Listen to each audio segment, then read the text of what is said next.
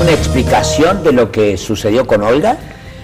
Bueno, Olga yo creo que no se presenta como candidata a intendente porque no tiene los recursos para financiar una campaña, para hacer frente a una campaña que ella sabía que va a estar muy disputada con un oficialismo poniendo toda la carne al asador.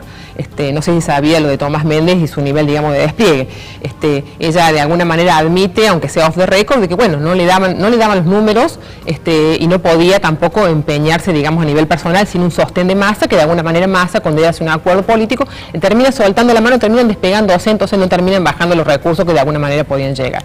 Me parece que ya hace de todas maneras una mala elección, hubiese ido mejor sola, ¿no? Me parece que hubiese dado un mejor resultado sola. Este, como decía un poco recién uno de, uno de los expertos que tuvieron acá, dos más dos no han sido cuatro, se han neutralizado. Me parece que el factor Tomás Méndez de alguna manera superpone a juez el voto, es un voto muy parecido. Entonces, es, ella, la gente no vota viceintendente, la gente vota intendente. Ella quedó prácticamente desdibujada, digamos, de la campaña, aunque lo pintaron, digamos, como un doble comando, de alguna manera, como una fórmula de A2, este, pero ella queda desdibujada detrás de la figura de juez, y a juez lo desdibuja el factor Méndez, que es un voto, insisto, muy parecido, que capta un poco el voto ese de la periferia, de la gente tan desprotegida, que en este caso Tomás supo captarlo, y, juez, de alguna manera, como que nos dejó muy, dejó muy intranquilo su electorado.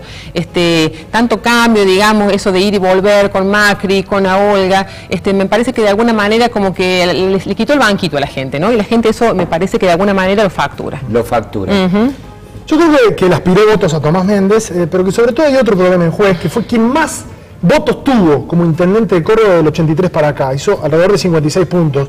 Eh, y que es un problema que viene teniendo juez en todos estos últimos años y que es no dimensionar su espalda. Ha tenido malas lecturas políticas eh, y además ha tenido un acto, digo, las últimas elecciones políticas, decisiones que él ha tomado han sido todas equivocadas, si eso uno lo traduce a eh, elecciones, ¿no? Como le ha ido electoralmente. Pero sobre todo esta última vez, a mí me parece que ha pecado de soberbio y no ha dimensionado otra vez su espalda y ha subestimado a un pueblo que yo creo estaba además muy desentusiasmado por los candidatos que había. ¿Por qué digo esto? Porque pues, quiso él traducir todo lo que hizo estuvo con Kirchner, estuvo con Wiener, estuvo con Pino Solana, estuvo con Carrió, estuvo con eh, Aguada, estuvo con eh, De la Sota, estuvo con uno, estuvo con otro. Se sacó una foto con Mestre hace dos meses comiendo un asado. Y él quiso ser el intérprete de aquellos que él quería que lo votasen. Y tampoco se puede llevar la gente de los pelos, ¿sí? No, ustedes no crean en todo lo que dicen, que Macri venga a apoyar a Mestre y después si gana lo vaya a apoyar y yo he dicho que me iba a deslomar para que sea el presidente, no tiene nada que ver porque Macri vive en Buenos Aires. Además, mucho, tiempo fuera de la ciudad, ¿no? Digamos, sin contacto directo con su votante. Y me parece que muy pocos políticos pueden manejar los votos a distancia, digamos, hay muy pocos elegidos en la historia. Él se fue a Buenos Aires, digamos, hizo otro juego, se lo vio jugando muy fuerte en el plano nacional, incluso en los medios, este, como claro, como un fuerte opositor al gobierno nacional. Y después en Córdoba, bueno, las cosas fueron pasando distinto, ¿no? Él perdió contacto con eso. Liendo hacía referencia al fenómeno de Tomás Méndez. Lo escuchemos. ¿Quién representa Tomás Méndez? ¿Qué representan los votos de Tomás Méndez? Realmente fue una sorpresa, lo, dijimos varias veces ya, eh, porque las encuestas, de toda una serie de operaciones de prensa ligadas a las encuestas que lo ponían más arriba, más abajo, primero, segundo, tercero, cuarto, eh, así todo, no dejó de sorprender el 23%, sobre todo porque se trata de un periodista devenido en, dirigente político y ahora en eh, electo concejal, que hace una muy buena elección en la segunda, en la segunda ciudad del país, 23% de los votos, segundo a 9 puntos detrás del oficialismo.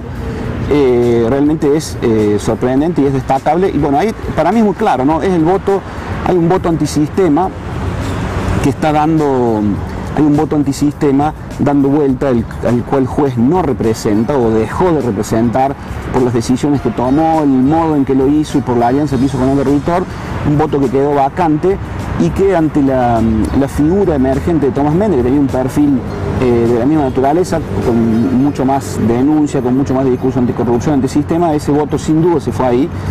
Y una parte importante del voto kirchnerista, ¿no? porque todos sabemos que, si bien había un candidato kirchnerista que podríamos llamar puro como Giacomi, ¿no? Todos sabemos que había vasos comunicantes entre la lista de Méndez y el, y el kirchnerismo, no hay más que mirar eh, quienes lo acompañan alrededor para darte cuenta de descontando el hecho de la financiación de la campaña, que es otro capítulo, de que hay vasos comunicantes entre el kirchnerismo y mucha, mucha, eh, mucha gente que votaba o que votó históricamente el kirchnerismo, donde En Córdoba nunca tuvo una muy buena performance, salvo el caso de Carolina Escoto, Martín Gil y alguna de las elecciones de la presidenta, no, no terminaba de encontrar un candidato, con lo cual acá puede haber habido eh, sin duda voto kirchnerista dentro del componente del voto de, de Tomás Méndez. Mientras el director pone eh, en los LEDs eh, el mapa, que yo se lo he sacado a la voz del interior, mil disculpas, eh, sobre cómo se distribuyó el voto en la ciudad, donde queda evidente de que Tomás Méndez gana, donde en Las Pasos ganó el peronismo, en los sectores más vulnerables de la ciudad. Yendo hablaba de vasos comunicantes de Tomás Méndez y su lista y el Sí. kirchnerismo, y hoy una foto con Scioli. Sí, una foto con Scioli, impactante, que tuvo eh, mucha repercusión en las redes, eh, pero que lo muestra Tomás Méndez, según mi punto de vista, deshojando permanentemente la margarita, como un ratito acá, un ratito allá, puso la foto, la foto tuvo mucha repercusión, creo que llegaron muchas críticas aquí en Córdoba y, e inmediatamente dijo, no soy ni K ni anti-K, me recibió Scioli por mi proyecto contra el narcotráfico, si me recibe Massa y me recibe Macri, también voy. Yo creo que es toda una definición, ¿no? Habrá que ¿Le ver cómo puede ocurrir lo que le ha ocurrido a Juez? ¿Con estos vaivenes? Sí, por supuesto. Yo creo que él, la gente lo quiere, la gente que lo votó, por el tipo de voto que es, por este voto antisistema y de alguna manera antipolítica, la gente lo quiere químicamente puro. No le va a bancar, me parece, por lo que viene el Face, en su muro de Face, las críticas que ha recibido por haberse sentado. Uno sabe que una foto no es cualquier cosa, ¿no? Una foto política dice muchas cosas. Este, él se sentó con Scioli, podría no haberlo hecho, y la gente se lo estaba, se, se- digamos, se lo ha imputado de alguna manera en el Face. Así que yo creo que él va a tener que tener mucho cuidado cómo se mueve porque ha prometido, digamos, ser lo distinto. Y la gente en Córdoba es refractaria al kirchnerismo, lo sabemos a eso. Este, y sí, evidentemente, si él ahora va y se sienta con uno y con otro y demás por algo, fue vivo y le dijo a Mestre, yo no me siento con vos. Mestre hizo la convocatoria a todos los candidatos, a Olga, a Luis y demás, y dijo, yo con Mestre no me siento. Él sabe perfectamente que su capital está en eso, en poner distancia, en pelear. Es un poco, yo lo veo muy juez a, Mestre, a, Men- a Méndez, ¿no? Eh, muy juez lo eh, veo. Con un juez inicial, ¿no Sí, cierto? totalmente, sí. La última, Cristian, ¿qué papel hemos jugado los medios en esta? Yo creo que hemos jugado, mm, digamos, un papel más intenso que en, la gobernación, donde estaba todo muy claro. Hemos estado más inquietos, develando un poco cómo venían las cosas, porque se daban vuelta en el aire. Eh, en términos generales, los medios más influyentes de Córdoba, la última semana, yo no sé si han tenido eh, un ok, un guiño, o la necesidad, o cuestiones personales, pero sobre todo es como que levantaron la reja y mostraron cosas que existían y que perjudicaron. Hablo de los videos y algunas otras cuestiones que le perjudicaron el voto a Tomás Méndez. Si no, es difícil de explicar la cara de Tomás Méndez luego de hacer una muy buena elección con 23 puntos, la cara de enojo, digo, más allá de la situación particular que denunció de la casa de sus padres, eh, esperaban otra cosa, las mediciones les decían que estaban ahí, que tenían posibilidades. Y Sí. eh, cuando los medios influyentes juegan, digo, mm, aquellos que tienen muchísima, muchísima audiencia, eh, juegan fuerte, yo creo que afecta. Sí, no podemos hablar de los medios, o sea, de un medio, sino de las formas que se han comportado los distintos medios, ¿no? Yo creo que, por ejemplo, bueno, la voz del interior, evidentemente lo trató como un candidato menor, y uno le preguntaba a los colegas de la voz y nos decían no tenemos ningún elemento para no decir que no es un candidato menor. Este, otros medios, sabiendo y viendo encuestas, le dimos sabiendo que podía ganar incluso la, elección, le dimos la entidad de un candidato que venía, digamos, subiendo en las encuestas y que venía teniendo de- de mucha, mucho asidero entre la gente. Así que, y me parece que también hubo una intención muy clara de, eh, como una especie de boicot, de alguna manera, por muchas razones que podemos hablar o no, digamos, por lo cual Méndez tenía mucha resistencia entre sus propios colegas, ¿no? Ahora, pero el ninguneo, porque se habla mucho del ninguneo y no se repasa tanto desde el movimiento ADN de los videos. El ninguneo yo creo que lo favoreció, porque dinero para hacer publicidad tuvo, y mientras no tenía demasiadas notas, nosotros lo hemos invitado, algunas notas nos ha dado, otras no, pero digo, más allá de eso, él creció, cuando lo dejaron Y jugar, además- creció y creció y creció. El problema fue la última semana. Y le permitió victimizarse también, ¿no? Que también siempre te permite crecer un poco. Eh, me van a victimizar si no voy al final del programa. Muchísimas gracias. Realmente a los dos. Gracias a vos. Gracias a Gracias, vos. Cristian. Gracias, gracias. Bettina. ¿eh? No. Muchas gracias. Nos vamos sin antes dar un vistazo a Chile.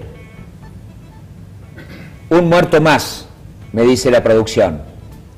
Una piba de unos veintipico de años eh, y un señor mayor eh, son las dos víctimas fatales hasta hoy.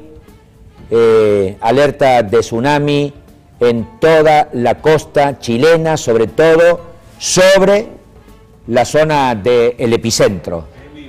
En vivo y en directo desde la televisión de Chile, le estamos mostrando lo que los chilenos están padeciendo en este momento. La presidenta de la Nación, Michelle Bachelet, ha decidido suspender las clases para el día de hoy, vaya a saber hasta cuándo, y el ejército, la fuerza de seguridad y los eh, y todas eh, las eh, fuerzas de emergencia de Chile abocadas a la tarea de rescate. Un muerto más. Son tres ya los muertos que nos indica la producción.